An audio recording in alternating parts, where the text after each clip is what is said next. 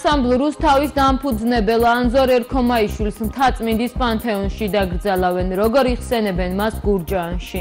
დღეს არამატერიალური კულტურული მემკვიდრეობა თითქოს ქართული სიმღერა ბატონი აზორის ძალიან დიდი წვლილია. მაშინ და უსამძიმრებ მთელს ქვეყანას და ეს იყო გენიალური ადამიანი. და ძალიან დიდი მოღვაწე.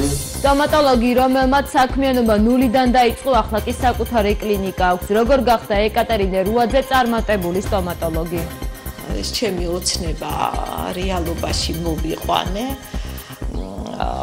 ამ ყველაფრისთვის აუცილებელია აი პირველ რიგში მონდომება შრომა ბაკურციხის ადმინისტრაციული ორგანო სპეციალისტს კორონავირუსი დაუდასტურდა მასთან კონტაქტში მყოფი პირები იზოლაციაში არიან.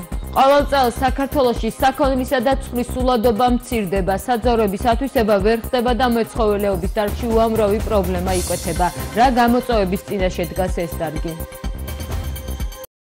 საღამო მშვიდობისა ტელეკომპანია გურჯაანი სტუდიიდან ახალამბებს ნინო სამნიაშვილი გაგაცნობთ. ანსაბლ რუსთავის დამფუძნებელ ანზორ ერქომაიშვილს 3 აპრილს მთაწმინდის მწერალთა და საზოგადო მოღვაწეთა პანთეონში დაგრძალავენ. მანამდე იგი საქართველოს კათოლიკოს პატრიარქის ილია მეორის ლოცვა კურთხევით სამების საკათედრო ტაძარში იქნება დასვენებული. მუსიკოსი, ფოლკლორისტი და საქართველოს ხელოვნების დამსახურებული მოღვაწე ანზორ ერქომაიშვილი ვოკალურ ანსაბლ რუსთავს 1968 წლიდან ხელმძღვანელობდა.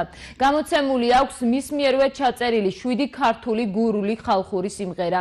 ანზორ ერქომაიშვილი დაჯილდოებული არის ბრწყინვალების საპრეზიდენტო ორდენით ქართული საგუნდო მუსიკის, ფოლკლორის განვითარებისა და პოპულარიზაციის საქმეში შეტანილი განსაკუთრებული წვლილისათვის. ნაყოფიერი პედაგოგიური, საზოგადოებრივი მოღვაწეობისა და ქვეყნის წინაშე აღმატებული ღვაწლისათვის. ასევე მიღებული აქვს ივანე ჯავახიშვილის სახელობის პრემია. შოთა რუსთაველის სახელობის სახელმწიფო პრემია, ილია ჭავჭავაძის სახელობის პრემია და სხვა. ანზორ ერქომაიშვილი 91 წლის ასაკში კორონავირუსის დიაგნოზით გარდაიცვალა.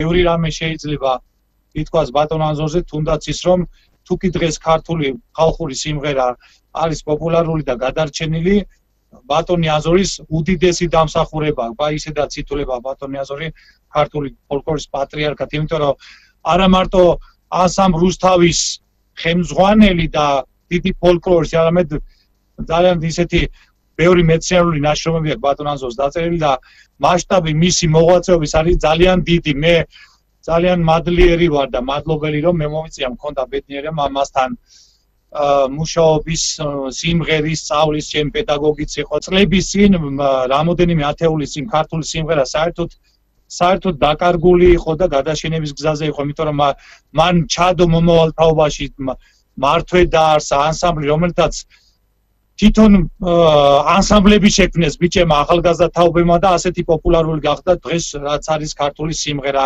თუნდაც რომ დღეს არამატერიალური კულტურული მემკვიდრეობა თითულება ქართული სიმღერა პატონი აზორის ძალიან დიდი წვლილია. მაშინ და უსამძიმრებ მთელს ქვეყანას და მთელ საქართველოს. დიდი ადამიანი დაკარგა სრულიად საქართველოს. ბატონი აზორ ეკომაიშვილის სახით ეს იყო გენიალური ადამიანი. და ძალიან დიდი მოღვაწე, ძალიან დიდი პროფესიონალი თავისი საქმის. მე ვფიქრობ, რომ თვითონ ქართულს სრულიად საქართველოს დაგდება ისი არ ყოფნა ამ ქვეყანაზე, მაგრამ მან იმხელა აა იმხელა დიდი სიყვარული, იმხელა დიდი შემოქმედება დაგვიტოვა და დაუტოვა ჩვენს აა მომავალთაობას, რომ დამერწმუნეთ, რომ ამ სიკეთეს და ამ ძალიან დიდ დანატოვარს მომავალი თაობები დროთა განმავლობაში უფრო გაიგებენ. და უფრო ასე რომ ვთქვათ მიხვდებიან რაოდენ დიდი ღვაწლი ღვაწლის პიროვნება იყო ატონი აზორე ქომაიშვილი გურჯაანში ნანა იოსელიანისა და გია გიორგაძის სახელობის საჭადრაკო კლუბმა მუშაობა განაახლა. მოსწავლეების სპორტის სამსახეობას უფასოდ ეუფლებიან. როგორც პედაგოგი აღნიშნავს, ბავშვების ინტერესი ჭადრაკის მიმართ დიდია. წელს შარშანდელთან შედარებით უფრო მეტი მოსწავლე მიიღეს. მათგან უმრავლესობა კი ბიჭია. ჭადრაკის სწავლა ნებისმიერ მსურველს 5 წლის ასაკიდან შეუძლია. ნანა იოსელიანისა და გია გიორგაძის სახელობის საჭადრაკო კლუბის მოსწავლეები სხვადასხვა ტურნირსა და ოლიმპიადაში ოლიმპიადაში იღებენ მონაწილეობას და დიდ წარმატებებს აღწევენ. 27-28 მარტს მათ რეგიონულ ჩემპიონატში წარმატებით იასპარეზეს და გუნდური პირველი ადგილიც მოიპოვეს. 9 წლის დათა ყალაბეგაშვილი კი საქართველოს 13 წლამდე ასაკის მოჭადრაკეთა ეროვნული ჩემპიონატის გამარჯვებული გახდა. ჩვენს განვახლეთ მუშაობა. ჩაწერილი არის დაახლოებით 1.80 მოსავლეც და მოდიან ეს ბავშვები უკვე და ვატარებთ მეცადინეობას. რა თქმა უნდა, ახალ მოსავლებსაც ვიღებთ, რა თქმა უნდა, უკან არ ვაგზავნით არავის. სწავლა უფასოა, ჩვენთან გადასახადი არ არის. ვცდილობთ რომ აუზადოთ ბავშვები, მოწყოთ ქუჩას და რა ვიცი, დიდებიც და დიან პატარებიც და ყველას ვიღებთ, ვისაც კი სრული უჩნდება სწავლისა. ვურჩევთ რომ ამ ბზნულ თამაშს გავგონგემო და დაინტერესდებიან აუცილებლად ეს გამოადგება სხვა სხვა სფეროში სტომატოლოგი ეკატერინე რუაძე პროფესიის დაუფლების შემდეგ მშობლიურ რაიონს დაუბრუნდა და საკუთარი კლინიკა გახსნა. ახალგაზრდა სპეციალისტი თავისი პროფესიონალიზმით მალევე გახდა პოპულარული და დღეს მასთან მოსახვედრად რიგები დგას. მას პაციენტებთან ურთიერთობის საკუთარი მეთოდი აქვს და მკურნალობასთან ერთად მზრუნველიც არის. სამი შვილის დედა დატვირთული გრაფიკის მიუხედავად სამსახურსა და საოჯახო საქმეებს ერთმანეთს კარგად უთავსებს. მერი სამაკაშვილის სიუჟეტი ეკატერინე როაძე დავით აღმაშენებლის სახელობის უნივერსიტეტის სტომატოლოგიური ფაკულტეტის დამთავრებისა და თერაპიულ და ქირურგიულ სტომატოლოგიაში რეზიდენტურის კურსის წარმატებით გავლის შემდეგ გურჯაანში დაბრუნდა, რათა შეძენილი ცოდნა მშობლიური რაიონისთვის მოეხმარებინა. ამბობს, რომ ექიმობაზე ბავშვობიდანვე ოცნებობდა. ექიმობა მინდოდა, ასე ვთქვათ, ბავშვობიდან, სკოლის დამთავრების შემდეგ. აა გადავწყვიტე მე რატომღაც სტომატოლოგიურზე ჩაბარება. და ძალიან კმაყოფილი ვარ ჩემი არჩევანის. წარმოდგენით თითქოს უფრო ქირურგიაში წარმომედგინა ჩემი თავი, მაგრამ მე აა ასე მოხდა, ასე გადავწყვეტე. სტომატოლოგიური ავარჩი. გურჯაანში დაბრუნების შემდეგ ყველაფერი ნულიდან დაიწყო და დღეს უკვე საკუთარი სტომატოლოგიური კლინიკა აქვს. უკვე 15 წელია ამ სფეროში მოღვაწეობს და პაციენტების საყვარელი სტომატოლოგია. წარმატებული ქალბატონი ამბობს, რომ ამ ხნის მანძილზე სირთულეებიც ბევრი შეხვდა, მაგრამ მათთან გამკლავება მოახერხა. დავიწყე მცირე კაბინეტით, ერთსავარძლიანი კაბინეტით. დროთა განმავლობაში მე ამ კაბინეტს უკვე კლინიკის სახე მიეცა. ეხლა ამჟამად ორსავარძლიანი კლინიკა არის, მაგრამ სამომავლო გეგმებში ეს რაოდენობა გაიზრდება. სირთულეები არის მუშაობის პროცესში, მაგრამ შენი საქმის სიყვარული ყველაფერს აი გაძლევს იმის უფლებას, რომ ამ ყველაფერს გაუმკლავდე. სტომატოლოგი ეკატერინე რუაძე მუდმივად მუშაობს საკუთარი თავის განვითარებაზე და ცდილობს, რომ სიახლეებს ფეხი აუწყოს. მისი აზრით, წარმატებისა და პოპულარობისათვის მიზანდასახულობა და თავდაუზოგავა შრომაა საჭირო. მუშაობის დროს, ნუ აუცილებელია აი აყვე ამ თანამედროვე მიდგომებს. შეძლების დაგვარად ვცდილობ ეს ტრენინგი არის თუ კონფერენცია არის შეძლების დაგვარად დავესწრო და დავეუფლო იმ სიახლეებს რაც მოწოდებული არის. მე მიზნად რაც დავისახე რა ოცნებაც მქონდა აა ეს ჩემი ოცნება რეალობაში მოვიყვანე ამ ყველაფრისთვის აუცილებელია აი პირველ რიგში მონდომება, შრომა და იმ სირთულეებს უნდა გაუძლო, რა სირთულეც შეგხვდება მუშაობის პერიოდში.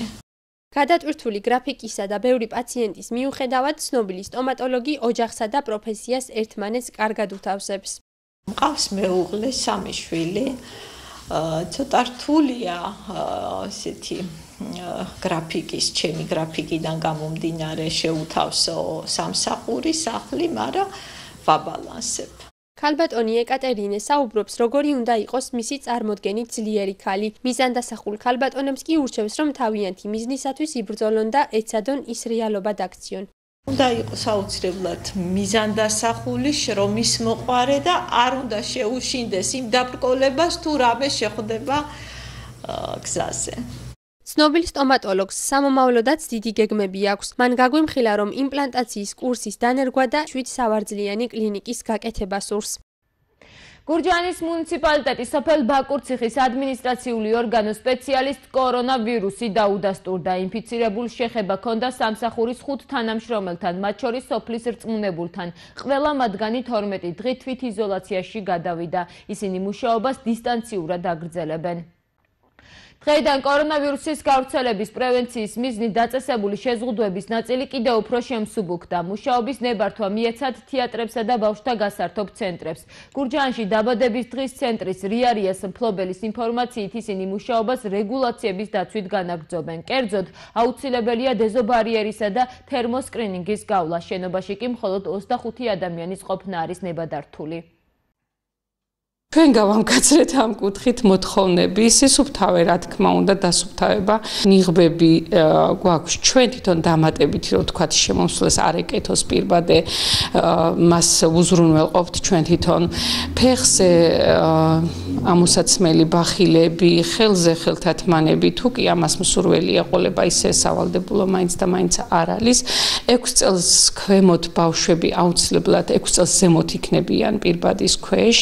6 წელს ქვემოთ პირბადის გარეშე რეკომენდაცია ასე მოითხოვს. მშობლები აუცილებლად პირბადით და რაც შეეხება ხა დისტანციას სტუმრების მიღებისას იგივე არის 4 კვადრატულ მეტრზე ერთი ადამიანის უფლება გვაქვს მინიმუმ 25 ადამიანი შეგვიძლია რომ დარბაზში მივიღოთ დღეიდან ძველი სანომრე ნიშნით ავტომობილის გადაადგილება ადმინისტრაციული სამართალ დარღვევა იქნება და მფლობელი ადმინისტრაციული წესი დაჯარიმდება.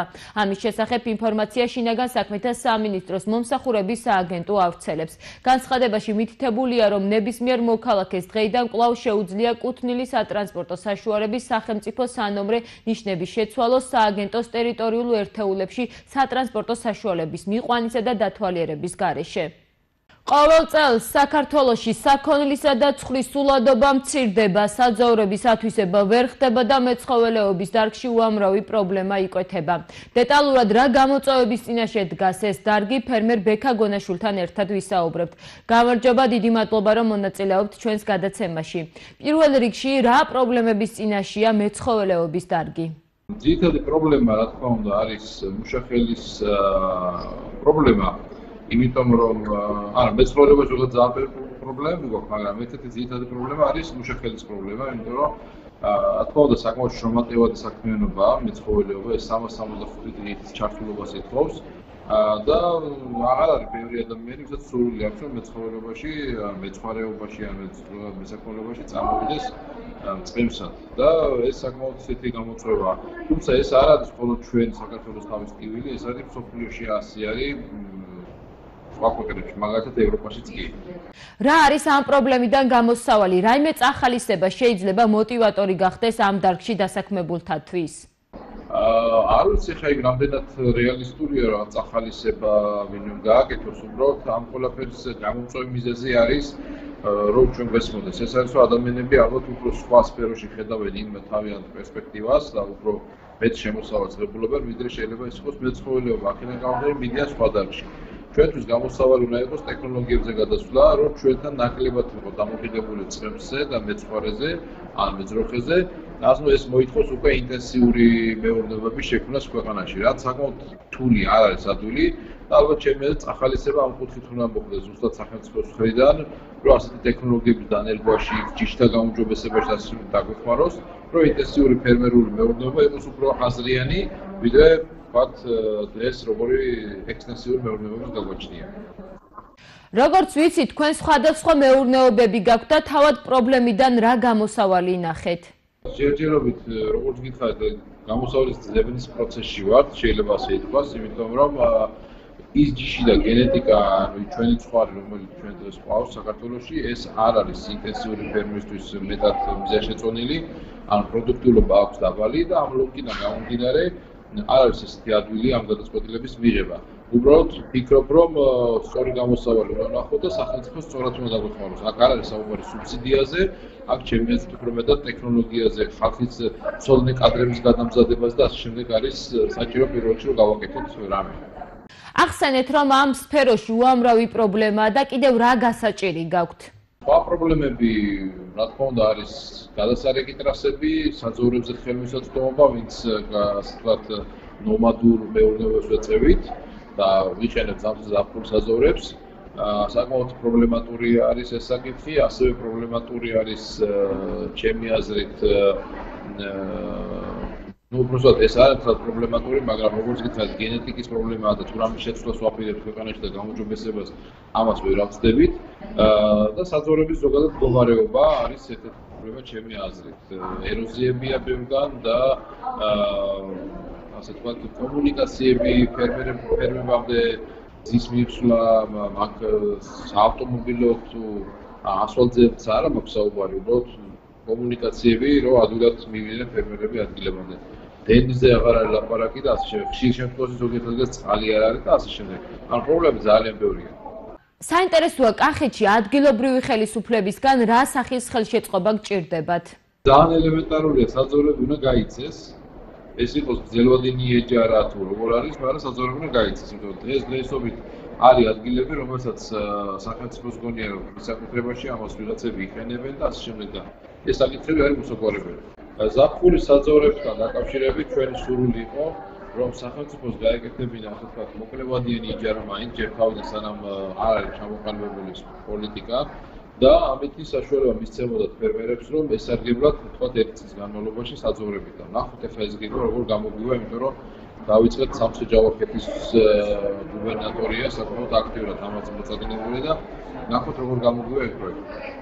და ბოლოს მინდა კითხოთ, ჩემი დაკვირვებით სოფლებში თუ ოჯახებს ერთი ან ორი ძროხა ყავდათ, ისინი ყიდიან მას და თითქმის სანთლით საძებნია ოჯახი, რომელიც მეცხოველეობას მისდევს. თქვენი შეფასებით, რა არის ამის მიზეზი? შრომატევადია ეს საქმე და ამ დროს შემოსავალი არ აქვს თუ რაში არის პრობლემა? სრულად ვეთანხმები, იმიტომ რომ ესე იგი ისინი მიხვდნენ, რომ ის არის არ არის კონკურენტუნარიანი, არ არის შემოსავლიანი.